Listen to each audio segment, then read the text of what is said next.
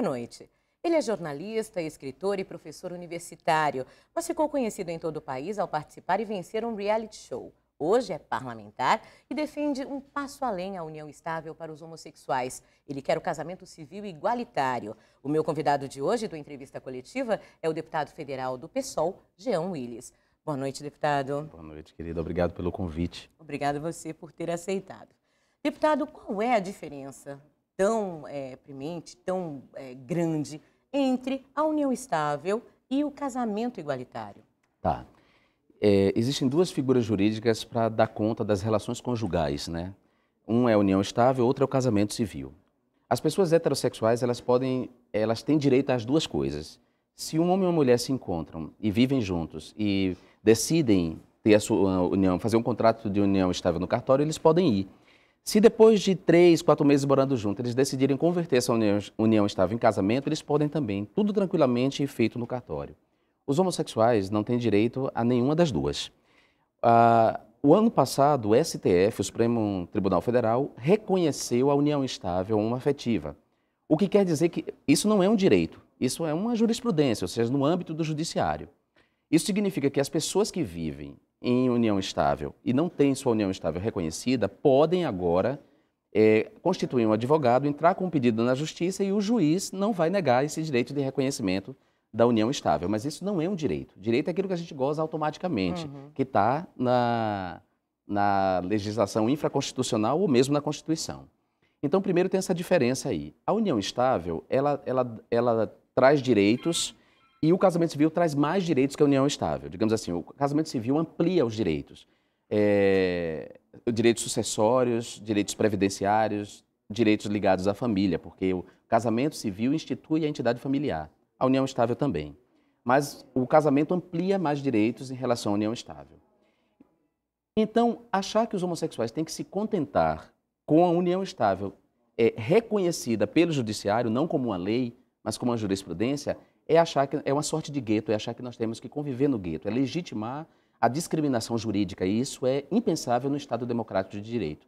Se a gente acha e a gente acredita que vive numa república democrática, nós temos que garantir a toda a população os mesmos direitos com os mesmos nomes. Então não faz sentido, então muita gente usa assim, ah, mas por que não a união? Por que tem que ser casamento? Ora, porque o nome do direito é casamento, está lá no artigo 226 da Constituição. Não é o religioso, né? Não, não é. O, o casamento é civil desde 1889, com a proclamação da República e a primeira Constituição, que é de 1891, o Estado se separa oficialmente de igreja e, o, e a Constituição é, reconhece o casamento civil e o casamento religioso. O casamento religioso ele tem efeitos civis, ou seja, uma pessoa que casa no religioso pode, esse casamento ter um efeito civil, de casamento civil. Mas há pessoas que são ateias, que são de religiões não cristãs, que não casam em igrejas cristãs e que por isso elas também têm que ter direito ao casamento. E por isso foi instituído o casamento civil. O casamento civil, é, anos mais tarde, os heterossexuais conquistaram o direito ao divórcio, que é você dissolver o casamento uhum. civil. O casamento religioso não é dissolvido pelo divórcio, o casamento religioso é para sempre, porque o casamento religioso é pensado em termos de sacramento, né? um sacramento, um dos sacramentos, dos sete sacramentos da igreja.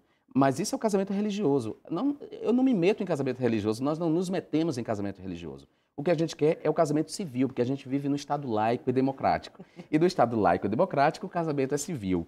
E se o, e se o casamento é civil, não, argumentos religiosos não podem ser utilizados para negar aos homossexuais esse direito. Eu, eu sou cidadão como você, eu contribuo para o país como você, com os meus impostos, eu tenho os mesmos deveres que você, mas eu não tenho os mesmos direitos. Só para você ter uma noção, a negação do direito ao casamento civil aos homossexuais negam quase 70 direitos correlatos. Eh, eh, direitos previdenciários, direitos sucessórios, direitos da família. Então, a conquista do direito ao casamento, você é, garante quase 70 direitos à, à, à, população LGBT. O que você fala para quem diz que a, a liberação, a legalização do casamento entre iguais pode destruir a família brasileira? Eu acho que eu digo que essa pessoa não conhece bem a história da família moderna. Eu acho que essa pessoa não olha sequer em volta dela, porque se ela olhar em volta dela, ela vai ver que a família mudou muito ao longo dos anos. Eu mesmo conheço várias mulheres, tanto colegas, amigas e conhecidas, que chefiam famílias, que são mães solteiras. Eu conheço outros tantos caras que também chefiam famílias. É, são as famílias é, monoparentais, a gente chama de família monoparental. Não é porque uma, um cara cuida de uma família sozinho ou uma mulher cuida de uma família sozinha que ela não deve ser reconhecida como família e não deve gozar da proteção do Estado. Existem outras famílias que são feitas só do casal, casais que decidiram não ter filhos. Uhum. São uma família ainda assim. Casais estéreis que não podem ter filhos e que adotaram crianças, são famílias mesmo assim. E tem aquelas famílias estendidas em que as pessoas foram casadas durante, sei lá, 10, 15 anos, o amor acabou, eles se divorciaram, têm direito ao divórcio, portanto, é, eles se divorciaram e constituíram novas famílias. E aí essas duas novas famílias formam uma grande família estendida, porque os, os filhos que nascem dessas novas famílias são irmãos da família de antes. Então, a família tem múltiplas faces. Não tem sentido, sentido a gente falar em família no plural, ou no singular. Nós temos que falar em famílias.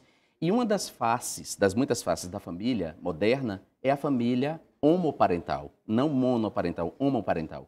São aquelas famílias que nascem da união estável ou do casamento, porque nós já temos casos de casamento civil concedido pela Justiça no Rio Grande do Sul, uhum. que nascem da união estável ou do casamento civil de dois homens e de duas mulheres. Então, não vai destruir a família, muito pelo contrário. A família continua sendo a célula da sociedade, mas a família é diversa. E o Estado tem a obrigação de reconhecer as múltiplas famílias e dar a essas múltiplas famílias os mesmos direitos com os mesmos nomes. Para que essa PEC, essa proposta de emenda constitucional caminhe, vocês precisam de 171 assinaturas. Isso.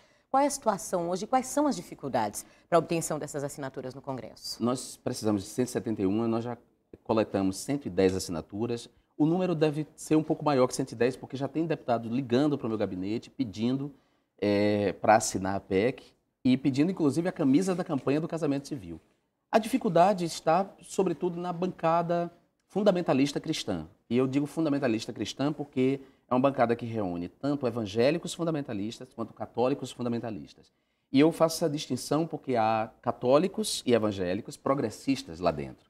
Vou dar três exemplos. Nós temos três padres que são bastante progressistas, que é o padre Tom, o padre João e o padre Luiz Couto, que são três padres deputados que trabalham na promoção dos direitos humanos e da extensão do, é, e da garantia dos direitos humanos de minorias.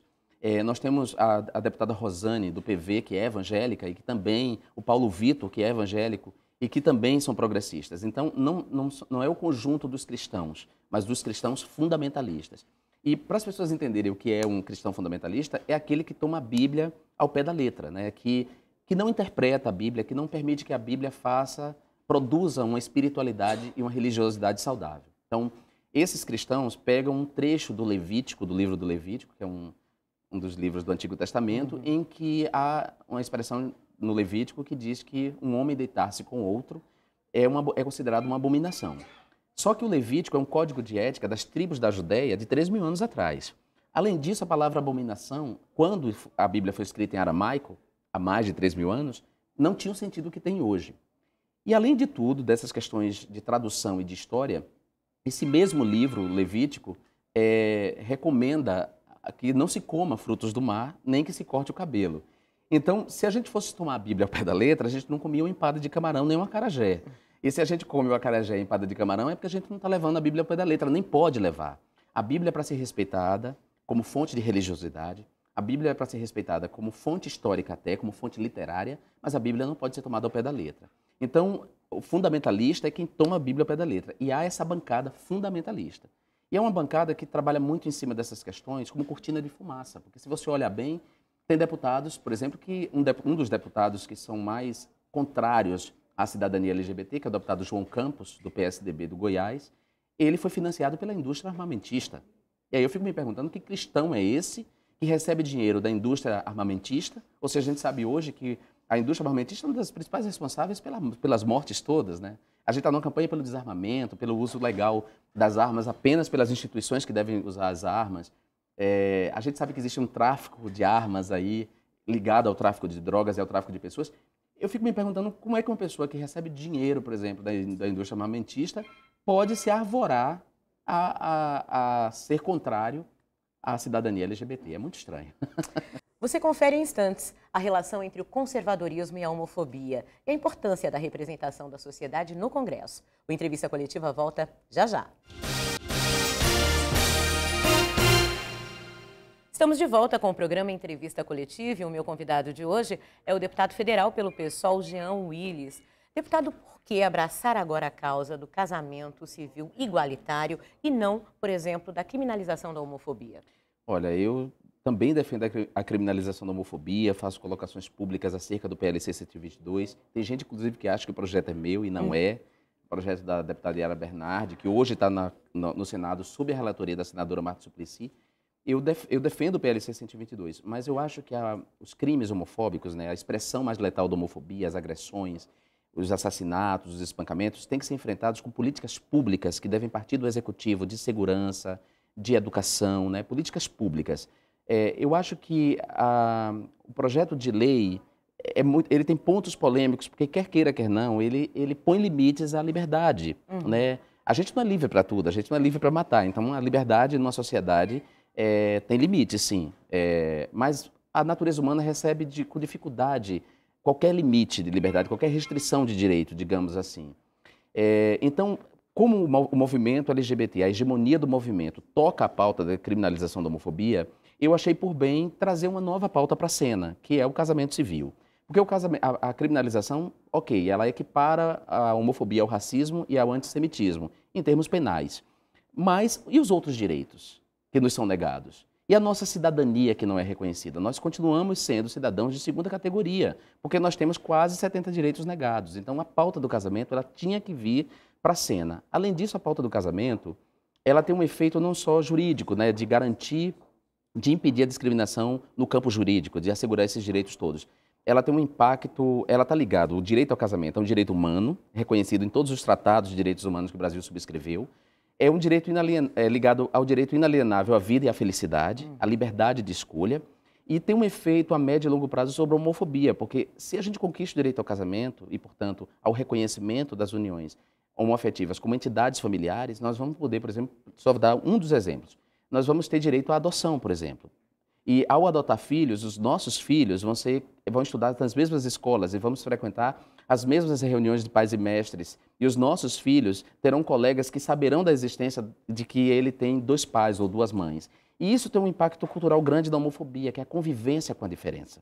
É, eu acho que ninguém é obrigado a gostar da homossexualidade, ninguém é sequer obrigado a dizer que a homossexualidade é uma prática bacana. É, e eu defendo esse direito da pessoa poder dizer isso. Agora, ela não pode achar que homossexuais são menores como seres humanos ou, ou, ou, cidadãos de segunda categoria ao ponto de não ter os mesmos direitos. Então, o casamento assegura o Estado de Direito. Por isso que é a pauta mais importante, que é a criminalização da homofobia. Falando ainda em homofobia, a repórter Maíra Portela tem um questionamento para você. Deputado, boa noite. A Bahia lidera o ranking de crimes de homofobia e o senhor veio lançar a campanha de casamento igualitário aqui em Salvador.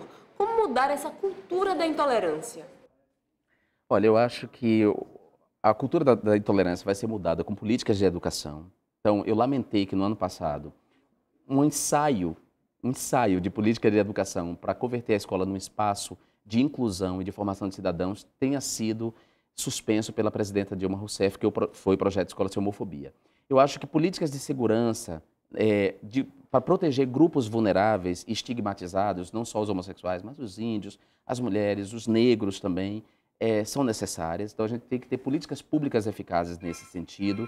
É, nós temos que, o movimento social tem que estar ativo para dialogar com os meios de comunicação, que são instâncias importantes na construção do imaginário. Mas eu acho que a pauta do casamento faz o enfrentamento da homofobia e é significativo que Salvador, sendo uma cidade que lidera o ranking de, de crimes homofóbicos, a gente lança a campanha aqui, porque a campanha do casamento tem muito a ver com o enfrentamento da homofobia, embora aparentemente não uhum. pareça que não. Mas tem sim, porque os homossexuais são destituídos de direitos porque não são considerados humanos ou cidadãos de segunda categoria. Compreendeu? Então as pessoas elas acham que é legítimo ou que, que pode gozar de impunidade já que está matando uma pessoa que não é cidadão. O Estado não reconhece ela como cidadão, se o Estado não reconhece ela, por que, é que eu vou reconhecer? Esse é o pensamento. Né? Se a cultura trata ela como algo menor, por que, que eu, sou parte dessa cultura, vou. Então... Você acredita que é, colabora ou colaborava com isso também a falta de representatividade é, no nosso parlamento, ou mesmo é, na nossa Câmara de Vereadores. Agora a gente tem Leocrete aqui como vereadora, você lá no, na Câmara Federal. Como é que é essa representatividade, a importância dessa representatividade? Olha, tem muita importância essa representação da comunidade LGBT nos poderes. principalmente no Poder Legislativo, que é o que faz as leis, né? no Congresso Nacional, nas câmaras ou nas assembleias legislativas. É importantíssimo, não só porque a gente vai estar lá batalhando para assegurar leis, para fazer proposições legislativas, para fiscalizar o executivo no sentido de garantir políticas públicas, mas tem um efeito positivo para as próximas gerações, que é a ideia de que nós sim podemos chegar nesse espaço da política institucional. Isso é muito positivo. No caso do Léo Crédito, eu acompanho um pouco o mandato dele, mas dela, na verdade, desculpe, dela. Eu acompanho porque ela é transexual. Uhum. É, adotou a identidade de gênero feminina. Eu acompanho muito pouco o mandato da Leucrete, mas acho importantíssimo que a Leucrete esteja na Câmara dos Vereadores. É muito importante, porque eh, Leucrete, além de compor a comunidade LGBT, de fazer parte da comunidade, ela é o segmento mais estigmatizado dentro da comunidade, que é o segmento das transexuais e travestis. Então, embora não acompanhe, não, não saiba muito das proposições, só o fato dela estar lá já é bastante significativo. Acho importante, tomara que ela continue é, garantindo esse espaço, que o povo baiano continue, as pessoas que votaram nela continuem votando. Se é que ela está fazendo um bom mandato, porque eu também não, não acompanho. Você acha que se você tivesse se candidatado aqui pela Bahia, você teria vencido as eleições, estaria hoje na Câmara também? Eu acho difícil, eu acho difícil. Eu me candidatei pelo Rio pelo simples fato de eu estar morando no Rio. Né? Tem oito uhum. anos que eu moro no Rio de Janeiro, meu domicílio eleitoral é no Rio de Janeiro. Então, na hora de eu me filiar ao partido, eu me filiei ao partido no Rio de Janeiro e me, me tornei candidato no Rio de Janeiro. Eu sou um deputado federal mesmo. Eu trabalho para todos os entes federados, inclusive um trabalho real de ir nos lugares é, da federação, né? do, do Oiapoque ao Chuí. Eu tenho ido para me, me reunir com o movimento social, para atender demandas da universidade, para tocar essa pauta dos direitos humanos. É, então, portanto, a Bahia está contemplada nisso. Uhum. É, se eu morasse aqui e eu tivesse é, me candidatado, dificilmente eu seria eleito, porque a Bahia é um lugar com currais eleitorais muito bem constituídos e defendidos. Uhum. A força da grana aqui no processo eleitoral conta muito. É, sabe, eu não, não, sou um cara com dinheiro, nem tenho iniciativa privada para investir na minha campanha, sendo que eu defendo temas tão polêmicos como o direito das mulheres, o direito dos negros, o direito dos homossexuais, das pessoas com deficiência essa é uma pauta que não tem interesse de banqueiro, não tem interesse de empreiteiro, não tem interesse de fazendeiro, do agronegócio, não tem interesse. Então, falando em polêmica, no próximo bloco a gente vai tratar da descriminalização da maconha. Você confere em instantes. Estamos de volta com o programa Entrevista Coletiva e o meu convidado de hoje é o deputado federal pelo PSOL, Jean Willis. Deputado, agora uma pergunta polêmica. O apresentador do Brasil Urgente, o Zé Albueno, faz um questionamento. Boa noite, deputado. O senhor é a favor da descriminalização da maconha? E o Brasil está preparado para isso mesmo? E mais uma curiosidade. O senhor já fumou maconha? O sistema é bruto, deputado. O Ziel, antes de se transformar nesse moralista, nesse apresentador moralista de programa vespertino, ele era bastante progressista na faculdade. Me espanta que ele tenha virado isso, esse paladino. Vocês foram colegas? Fomos colegas, é. Eu sou a favor da descriminalização da maconha. A regulamentação da maconha é fundamental para o enfrentamento do narcotráfico, das mortes todas decorrentes do narcotráfico. Eu acho que a gente só pode fazer política pública é, para conter todos os danos, os possíveis danos que nascem do consumo de maconha, se ela for legalizada assim como a gente faz no caso do álcool hoje, né? A gente tem a lei seca, nós temos uma série de políticas é, para conter os danos do álcool, exatamente porque o álcool é regulamentado, é legalizado. Então, eu sou a favor da descriminalização da maconha como forma de enfrentar o narcotráfico, de proteger o futuro das nossas crianças, sou mesmo. E qual foi a outra pergunta que ele fez? Se eu já fumei Se maconha? Você já fumou maconha? Já fumei maconha. Na minha época de faculdade, eu já fumei sim. Experimentei, como todo mundo, nesse contexto da faculdade, é, a gente faz como forma da descoberta sua, do corpo, das possibilidades, das liberdades. Eu acho que ele também já experimentou. Talvez ele não diga, porque quando ele se converteu em paladino da moral e dos bons costumes, ele não vai admitir isso em público. E você acha que o Brasil está preparado para essa descriminalização? Eu acho que o Brasil vai estar preparado para qualquer temática se ele for devidamente informado. Se a gente sair dos discursos moralistas, dos discursos rasos e populistas, a gente vai, é, o Brasil vai estar preparado. Se as pessoas se explicarem para as pessoas que, é, que a descriminalizar não é obrigar as pessoas a fumar a maconha, a fazer uso, mas descriminalizar é uma forma de combater exatamente o tráfico, o narcotráfico, a ilegalidade que se criou em torno dela, se as pessoas forem informadas devidamente disso, inclusive que já há o uso medicinal da maconha e, portanto, esse uso tem que ser estendido a todo mundo, só é, esse uso só vai ser estendido se a gente regulamentar, aí as pessoas vão compreender que é uma pauta positiva que tem que ser feita. Agora a pergunta para o João Willis, jornalista, pergunta do repórter Cristiano Gobi. Boa noite, deputado. Na condição de jornalista e estudioso da comunicação, de que forma o senhor acredita que a criação de marcos regulatórios e conselhos de comunicação no país podem ser salutares para a democracia? Sim, claro, os conselhos são salutares para a democracia. Aliás, é, é, das instituições democráticas, os conselhos são os mais democráticos, né, com representação da sociedade civil e dos governos.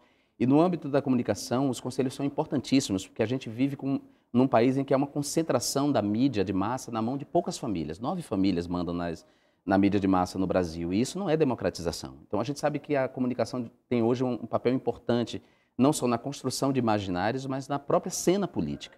É importante democratizar. Aliás, no próximo o assunto é comunicação. Uhum. No próximo dia 25, na Faculdade de Comunicação da Universidade Federal da Bahia, na UFBA, lá no, no campus de Ondina, os deputados que compõem a comissão especial que discute o marco civil vai estar numa audiência pública realizada lá na FACOM. Então, espero que vocês fiquem atentos, né, os espectadores uhum. fiquem atentos para participar dessa audiência. Tem um evento essa semana também, um seminário LGBT Tem, no Congresso. É, né? o, é o nono seminário LGBT do Congresso Nacional, que esse, nessa edição, vai ser terça-feira é, das 9 até as 17 horas, lá em Brasília. Vamos discutir é, sexualidade, papéis de gênero na infância e adolescência e a relação disso com a educação e o bullying. Vamos reunir especialistas da área do direito, da psicologia e da educação para discutir esse tema e recuperar um pouco o debate em torno do projeto Escola Sem Homofobia. Daqui a pouco, o finalzinho desse bate-papo com o deputado federal Jean Willis. O Entrevista Coletiva volta já já.